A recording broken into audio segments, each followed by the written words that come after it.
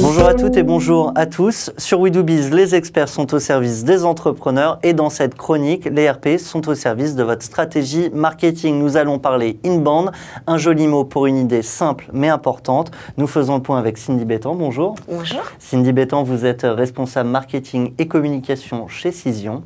En deux mots, l'inbound marketing, qu'est-ce que c'est? Alors, l'inbound marketing, c'est tout simplement euh, faire venir les prospects à soi plutôt que d'aller les chercher avec des techniques marketing plus traditionnelles comme l'emailing, les salons, la publicité.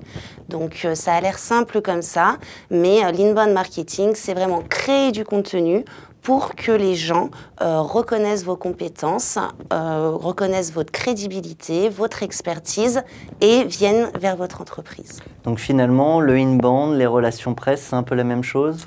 Alors, c'est pas tout à fait pareil, mais ce dont on se rend compte, c'est que la stratégie d'inbound marketing a de plus en plus besoin des compétences des relations médias.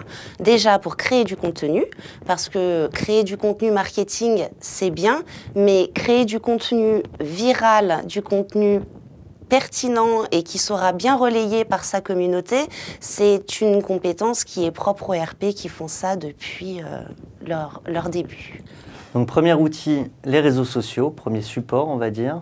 Absolument. L'inbound marketing se, euh, positionne beaucoup sur les réseaux sociaux, euh, déjà pour une question de relais d'information, mais aussi parce que sur les réseaux sociaux, on va trouver ces nouveaux influenceurs qui sont très suivis par la communauté et le marketing il va falloir qu'ils aillent chercher et je dirais même draguer ces influenceurs pour que eux-mêmes relayent ce contenu à leur communauté.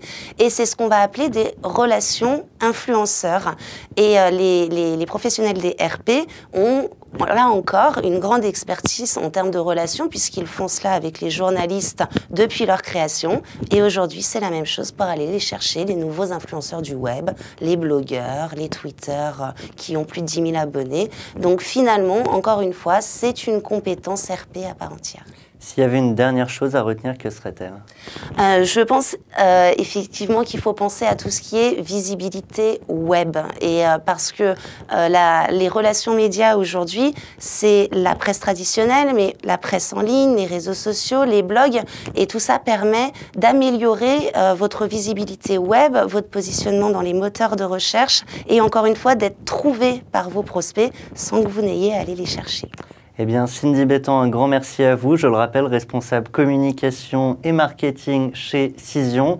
Quant à vous, vous nous avez déjà trouvé. N'hésitez pas à nous relayer. Merci à tous et à la semaine prochaine.